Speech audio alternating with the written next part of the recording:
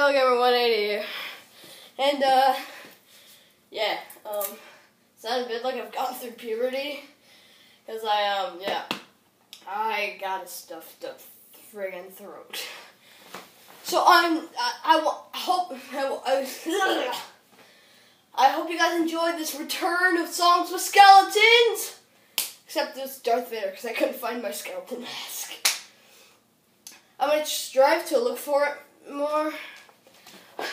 And this recreation of self destruct.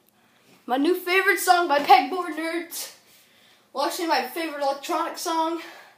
I just want to thank all of you guys for the support along my YouTubing career.